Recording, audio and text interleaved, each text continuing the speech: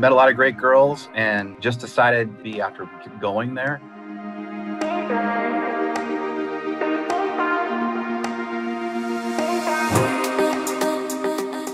And I wanted to do more of a, a detailed like search because before I got there, I wanted to do a lot of phone dates and get to know the girls.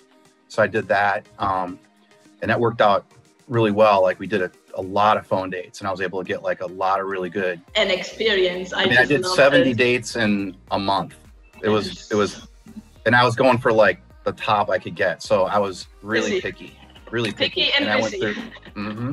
and so we got down to the final 11 out of like 40 girls I talked to. And then I flew in. I had one of the best months of my life. The Corona thing, I'm just so used to it now. It's not really a big deal.